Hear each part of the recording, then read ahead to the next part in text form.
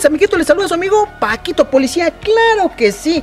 A mis amiguitos del Cantón Espíndola deben estar muy atentos, que están llegando personas de nacionalidades extranjeras, ofertando préstamos con la finalidad de poder cometer ciertos delitos que afectan a la ciudadanía. No olviden que deben denunciar al UPC más cercano de su domicilio o llamar al número de emergencia que es el 911. Yo soy su amigo Paquito Policía. Cuídense, chao.